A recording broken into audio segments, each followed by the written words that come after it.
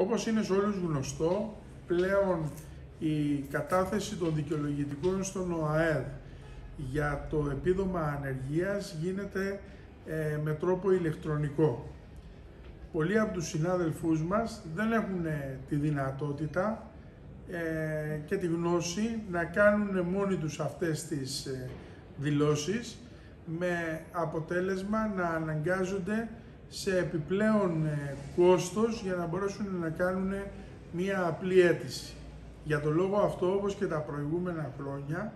στο Συνδικάτο Ξενοδοχοϊπαλλήλων έχει στηθεί μηχανισμός ο οποίος βοηθάει όσους ε, συνάδελφους δεν μπορούν να κάνουν από μόνοι τους την ε, δήλωση για το επίδομα ανεργίας στον ΟΑΕΔ και το συνεργείο αυτό που βοηθάει τους ε, συνάδελφους, ο μηχανισμός αυτός, λειτουργεί καθημερινά από τις 8.30 το πρωί μέχρι τις 12.30 και τις απογευματινές ώρες από τις 5 μέχρι τις 8.